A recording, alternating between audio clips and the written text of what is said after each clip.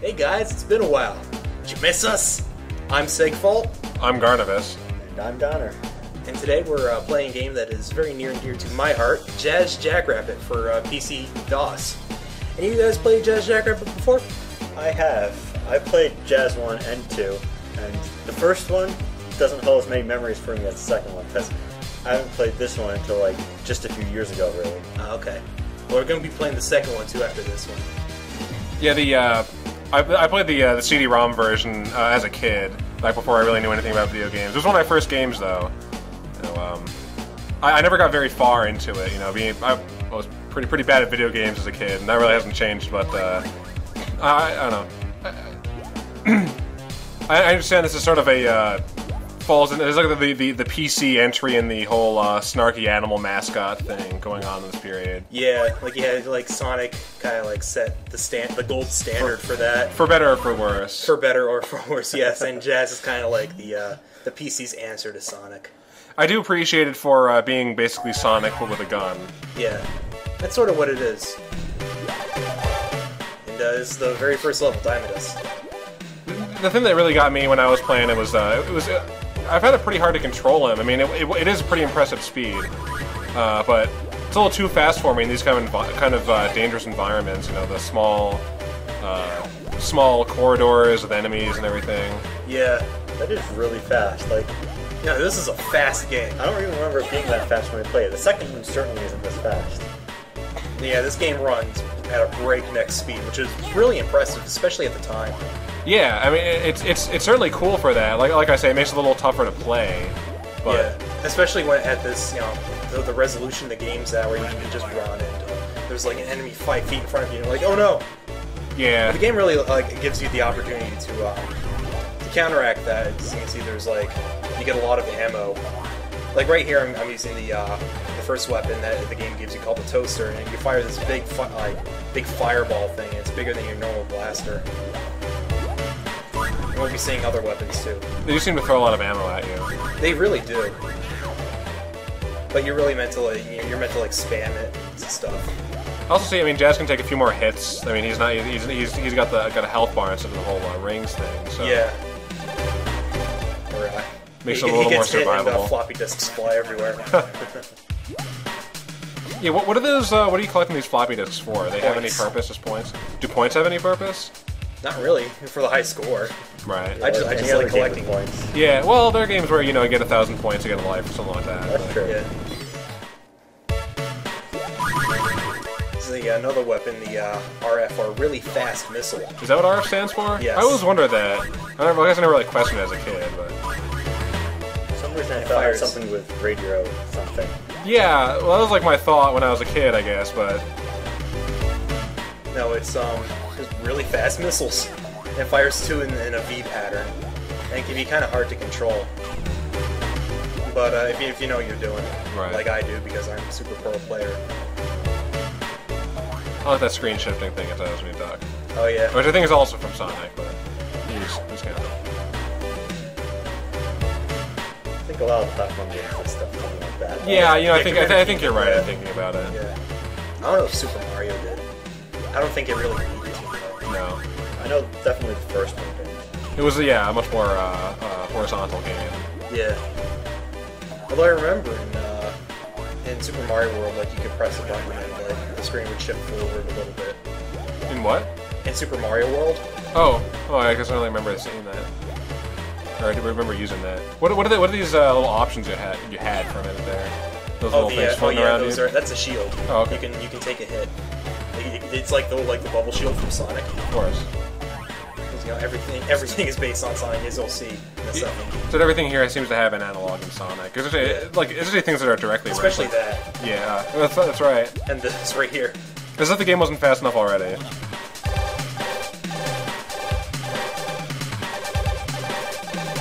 Yeah, last time I tried playing this, which was relatively recently, I find myself having to like tiptoe through the whole level because if, I- if I tried to go this fast, I just ended up, you know, Yeah. Yeah. being toasted. So, what's the story of this game anyway? I know it probably says something in that cinematic thing at the beginning, but you know, I wasn't paying attention. I actually don't think it does. I'm pretty sure No, this is one of those just- games with it's all in the manual. Sort Oh, of. Yeah. All right. What happened was You guys know the, the Aesop fable about the like the tortoise tortoise and and the the hare? hare. Oh, okay. Yeah. Yeah. Well, uh, this is like like thousands of years in the future, and uh, Devan Shell. Oh, you fight Devan Shell, who's this turtle terrorist, and he kidnaps uh, Ava Earlong, who's the uh, Ava, Eva Earlong rather, the uh, the princess of Carrotus, and uh, Jazz Jackrabbit has to go uh, rescue her. Okay. That's the So, story. Typical rescue the princess plot, basically. Yep. Except with rabbits. Look at this. Also, yeah, bonus levels. If you saw before, I, I collected a red gem yeah. in uh, in, a, in uh, level two, and when you collect the red gems, you get a bonus level. These things were totally awesome when I was a kid. Yeah, I remember liking They, these two. they look a little like they'd be a little boring now, but Yeah, I don't know. Back then, it was just like, holy crap, it's 3D. yeah. I mean, sure, that's pretty impressive. Well, then this is still like post Doom and stuff, right? So, Yeah, Or at least po- post Wolf 3D, but still. I believe. Uh, yeah, Doom came out around the same time as Jazz, but at the very least, you know, just seeing this is is impressive. Didn't, didn't Sonic have something like this too? It did. Yeah, it had like those things around like that half pipe looking thing, right? Yep. half pipe looking thing. Well, um, I didn't play a lot of Sonic really. Actually, I, I think I think one of the reasons I've I've, I've always dis- I've never really gotten into Sonic is because I played Jazz first and I've always preferred it. Yeah. That I, I honestly don't really like Sonic at all. Yeah, I don't know. I don't get like that's one of those games where it's fairly polarizing. I never got into Sonic because I like Sonic. I don't know I can't I can't get into the level design. I guess. Man, Sonic's got. I, I love that animation, by the way. Yeah. Yeah. Tube Electric, Tube the Electric. giant yellow cheese or the tiny yellow cheese moon. Apparently, This is one of my favorite worlds because of the music. I, I just all the music in this game is excellent, but especially this one. yeah.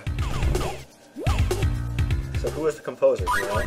Composer is uh, Robert A. Allen. What know- else has he done? You know, I don't know. Hmm. I gotta find out about that though. I'll let you guys know in, uh, in the next episode. Okay. I look forward to learning. What are these uh, tiny turtle things here? They don't do anything. No, they just they just run around. You can kill them. I, I seem to recall killing each and every one of them. Yeah, when I- but they, they, they don't hurt you. Well, fuck them. They're turtles. They they got it coming. Don't even need that extra life. No, I'm too good for this game. I already got six lives. Screw You're it. like a pro speedrunner. No, Jazz just makes me one. Gotta be some interesting speedrun videos for this game. Yeah. I think interesting and speedrun videos are usually mutually exclusive. Usually, yeah. Except for like Mario 64. Get some insane stuff where you just. Uh, oh, okay, well, tool assisted speedruns, those are those are another story. But so, what, how, how you play playing this here? Is this, uh, you, you playing with a keyboard? Yes, I am. And you ask me, that's the proper way to play jazz. Says the the guy collecting all the Gravis gamepads right now. Hey, man. I played with a Gravis gamepad. I was one of the lucky kids with the Gravis gamepad. I didn't have I, a Gravis I love those things. That thing. It even had. I don't know. I, I I wish they still made them like USB versions of them or something. But They they're basically just little four button pads with um a D-pad, and you could have like they, they had this little tiny thumbstick you could put in the D-pad. It didn't really serve much purpose, but Yeah. it was an excellent peripheral.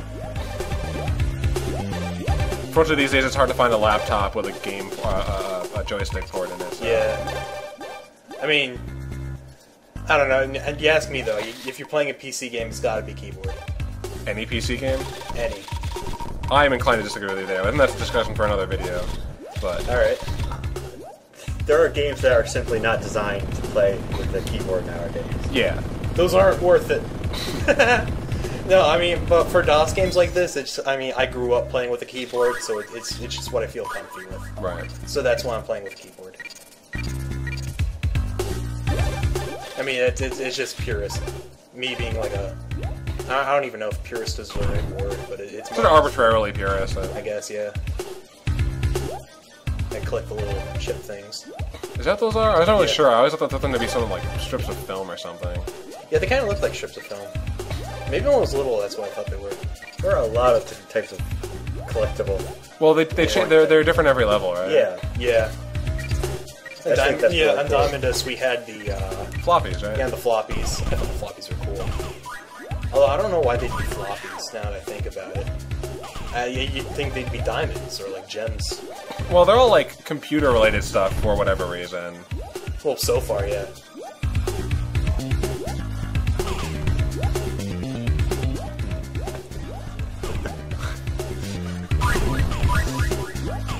Oh, oh yeah, this is a very seems like a very seizure-inducing level.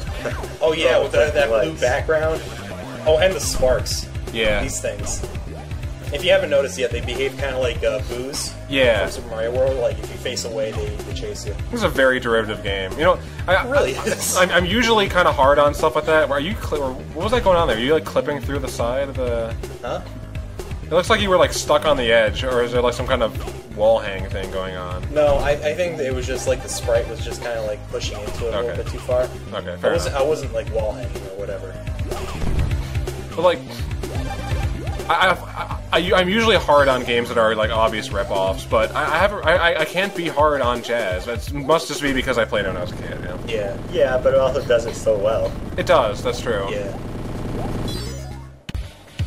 It's really a shame that the series went the way it did. Yeah. It really is. which uh, we'll be covering these in later videos as well. But Yes. basically, it, it is had a th- there was going to be a 3D uh, a 3D sequel that never really went anywhere, and then there was a really bad uh, Game Boy Advance entry in the series, and, and now Yeah. now it's officially dead. This is it's also worth mentioning in case for those who don't know. Uh, this was produced by uh, Epic MegaGames, who's Yeah. now just Epic. You know, and people you probably know them from Gears of War and and, uh, And, Unreal Un- Tournament. Unreal, yeah. So I mean, you, you you have most definitely played an Unreal Engine game if, if you've played. Yeah. If you play modern games, you've probably played a game on Unreal Engine 3. And this game is uh, what got Cliff Bleszinski out of his parents' house. yeah, literally. re- it really is. And, and, and it's really it's really bizarre to think that this is where like, th- this here is where uh, uh, uh, Epic got their start. Yeah. Yeah. They had, they had a they had a couple games. They had uh, like before this, they had Jill of the Jungle and ZZT. Right. But this was like this was the big one. This is what got them out. And uh, yeah, Sorry, uh, if Jazz were still alive today, I'm not sure Epic would be able to do it justice. no, probably not. I love this animation. I've already I, it. I love it. Yeah. Just, his head is just so happy. Medivo. But that was always a really cool. The level. atmosphere- are we men? We are Medivo. Are we not men? No, we are turtle things. Those are actually turtles according to the manual. Huh. They, they don't have shells, so they just put them in those things. Of course. Yeah, the um the manual actually like talks about all the planets, and uh, Medivo, eh, according to the manual, Medivo's atmosphere atmosphere is so thick, it always rains. Okay. So that's why it's like constantly raining in the background. Interesting. I don't I don't know if that makes any sense, but there it is. I don't really know. I'm not a meteorologist. If you, if you I'll, saw, I'll believe it. you saw it earlier, I'm trying to uh, get that bird in the cage up there. Ah. That's called a hip hop. A hip-hop? cool. Yeah, a hip hop, like the music. Right. What do they do? They uh, they help you. They uh, they kind of hover with you and uh, fire. Oh, like okay. bullets and stuff. They're really useful, which is why I was trying to get it, but I just couldn't do it. Oh well. So I just kind of gave up. And now I'm almost dead. It was worth it. It was. Well, probably not actually. Well, maybe. Hip hops are also useful because they kind of act like a shield in that if you take damage, like you won't get hurt, but the hip hop will fly away. I don't, I don't, I don't even remember hip hop, so I guess I never got one when I was playing. Too advanced. This level always struck me with a really sort of Looney Tunes kind of vibe. Really? Yeah, I, I think it's because these things remind me of Marvin the Martian. Oh yeah. Yes, I can see that. Th- th- these are the connections I made as a kid. You know? Yeah. Right. I didn't really watch a whole lot of cartoons when I was a kid. I have read that this had that this game had a, a strong influence from like Saturday morning cartoons and, and that kind of thing. But yeah. Yeah. Oh, I forgot to talk about this uh, this other weapon that I found. The uh, my favorite weapon is the uh, bouncy bullet launcher. Oh, I love those. Yeah. As you can see, it, it fires really bouncy grenades. Yeah. I'm, I'm not sure if grenade is the right word, but they just little bounce. capsule thing. I, I do like the sound. I like the sound design in this game overall, and I like Yeah. the sound they make when they bounce. Great. If I recall correctly, the, uh, the the flavor text the manual gives you says they're explosive rubber, Okay. based on explosive plastic. They get insane too because if, if you notice, they actually like instead of like lose like instead of losing like uh, energy from inertia, They actually build it. Really? Yeah, they, they just wow. they bounce higher and higher. It's Wow. great. They're like physics defying things. Oh, this thing! I remember this. The It's hoverboard. It's totally rad. It looks like you keep crashing the spikes but not getting hurt. Huh? So it looks like you keep crashing the spikes but not getting hurt. Maybe you're just like barely missing them I'm not Yeah. noticing. There's some real precision dodging and platforming going on here. Yeah. Guess you we're are, you watching are a watching a jazz master at work, says the guy playing on normal difficulty and constantly taking hits. I love that he's got one hand out there just to be cool. Yeah, just, yeah. Don't don't step to this. Don't step.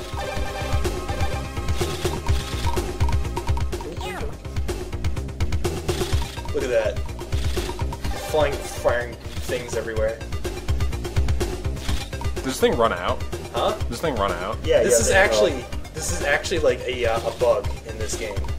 What? specifically like this level.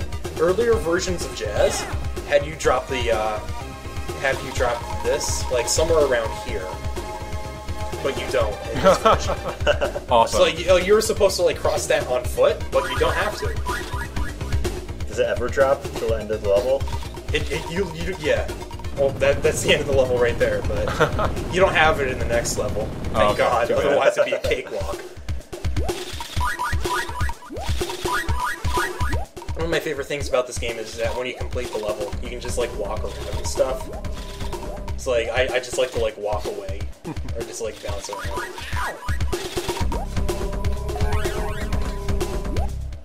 Making me want to play this game now. I know it's like it's just so kind of fun to watch. It really is. That's the um the collectibles for this one are uh, are chalices Ah, of course. Those are. because we're in Medieval. we're in medieval.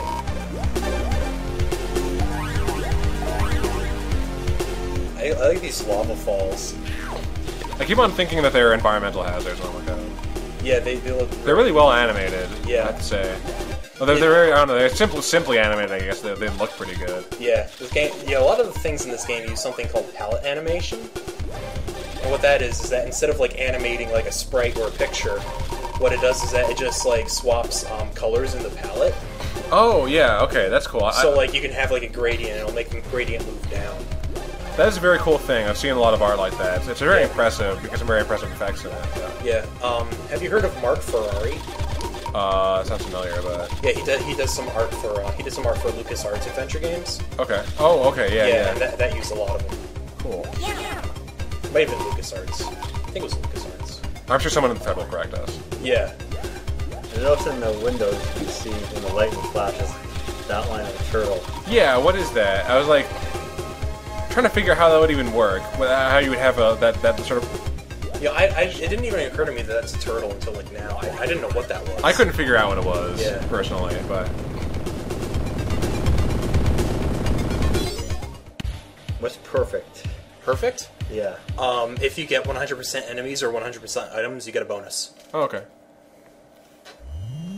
The Guardian, the Oh, boss of this episode. We get to fight Devan Shell for the first time. Oh, good. Is it always Devan Shell that you're fighting? Uh, not always, Okay. but here I- it's Devan Shell in a, uh, an flyer thing. It's Devan. I'm assuming this is the shareware episode that we're playing right Yes, now. this is this is the one that you could find for free on the internet. right. You guys don't know about shareware.